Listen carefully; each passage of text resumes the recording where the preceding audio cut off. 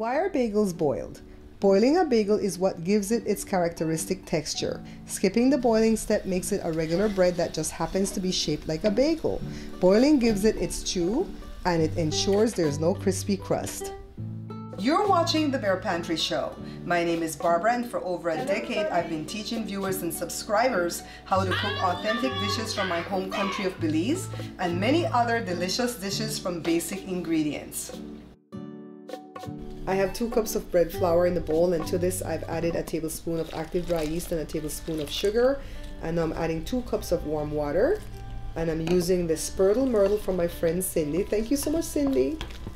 Now I'm making this starter. Let me add another ounce of water. So it's two cups plus one ounce, okay? Sometimes you need a little bit extra to just loosen it up. So let me get the bowl cleaned off here. Put everything in the middle and then cover this up with some shrink wrap or stretch film for one hour. One hour later, take a look at what it looks like. It's stretchy and elasticy. All right, so now I have another two and a half cups of bread flour over here because the total allotment is for five cups, but we have to split it like this. Now to this, I've added a teaspoon of salt, and then I'm just gonna merge the dry ingredients into the starter and stir very carefully so that we don't make a big mess. All right. So for some people that don't like to put their hand in dough, you might use this stick the whole time, but this gets annoying for me. So I like to get rid of the stick and just get my clean, dry hands into the mixture. I have to feel it. See, it's super sticky. So I know that I don't need any more liquid.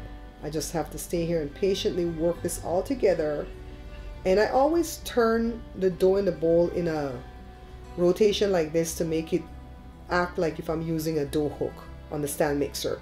So I've washed and cleaned off my hands and I'm just kneading the dough for as long as it takes to make a smooth dough ball, okay? You're gonna feel it get smoother and smoother in your hands.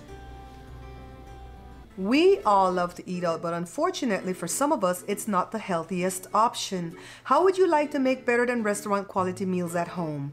With my second cookbook, The Pantry Laid Bare, you can make Chinese food without all that added MSG. Breads and bagels are a cinch because no appliances are needed. Pizza.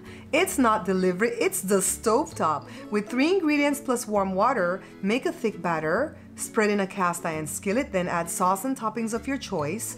Cook 5 minutes uncovered. Cover, cook 10 more minutes, then serve. These 111 recipes will bring out the inner chef in you. Get a copy today only at www.barepantryshow.com. Shop safely and securely at www.barepantryshow.com. So make it into a ball, put it back into the bowl, cover it up with a stretch film for another hour. Now, I really should have put some oil on the film because look, the dough is stuck to it, but you know what? We can peel it off. Just takes a little bit of time, but we could peel it off. So then just re-knead. If you have a bench scraper, you can use that. If not, just throw some flour down on the countertop and just start working the dough ball around until you can feel it smooth again and you're gonna hear a lot of air release out of the dough, okay?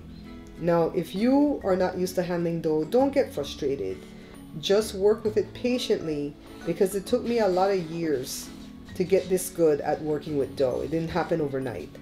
All right. So now I'm just kind of trying to form it into a big dough ball again, a smooth dough ball.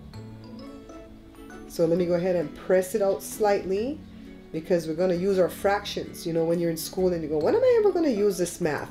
Well, you're going to need it for cooking. That's what you need fractions for.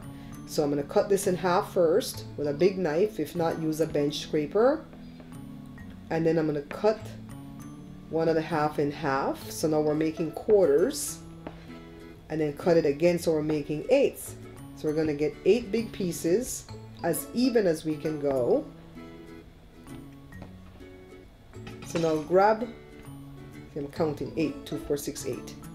Grab one piece, get some flour on your counter, and then first start forming a dome and then fold the ends together pinch it shut and then you could either roll it on the countertop or roll it in between your hands like this. See? Both ways. Now I found that when it comes to the bagels, you should roll it with a rolling pin because no matter how much you flatten it with your hand, um, the bagel will get too thick. So roll it with the rolling pin and then grab a cookie cutter, a big one. Um, I think this one is like two inches wide. I'm gonna measure it and tell you guys if I'm wrong or right. See, big. Kind of reminds me of when those people are stretching their ears. So punch the holes out and set the pieces aside, okay? Now grab the holes, four pieces, and form it into a ball again. Mash it out with the rolling pin and then use the same cookie cutter to punch a hole in. So this is a smaller bagel. And then do the same thing with the other one. And then now I've put the two pieces together, the two last holes, and I'm making a little baby one. And then I just tear it in the middle to make the hole because we can't keep punching and punching and punching, right? So now I have my big skillet. I'm adding water. And once this starts boiling, I'm just going to hit it with some salt. This is the Everything Bagel seasoning that Bella sent. Thank you so much, Bella. Jada is so grateful for that. So now we're boiling the bagel. And like I said in the beginning, this is what makes it a bagel. If not, it's just going to be a bread. Put some egg wash. If you don't want to do the egg wash, you can skip this part. But then if you're putting a topping the stuff might not stick. Keep that in mind, okay? So now I'm just going to go ahead and dunk it over this way. But I'm not getting a whole lot on the bagel, so once I pick it up, I'm just going to go ahead and sprinkle the stuff on because the thing that Bella sent here has a, a, a lid in the top part where you can sprinkle, see? It has little holes. And I'm going to do a bunch like this, but I'm also going to do some with Parmesan cheese and one with sesame seed just to make it look you know different have an assortment so bake it at 400 for 30 minutes and then this is how it looks. Mm-hmm. Dive in. Remember guys we're not buying this book Pick up a copy of this book instead.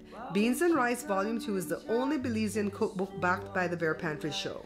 Take a look at all these wonderful recipes you'll find inside the pages. Not interested in Belizean dishes? Then the Pantry Laid Bare with these better than restaurant quality comfort foods might be the perfect book for you. Only need a small batch or a meal for two? Then pick up a copy of No More Leftovers. Each book has many choices of delicious dishes from basic ingredients.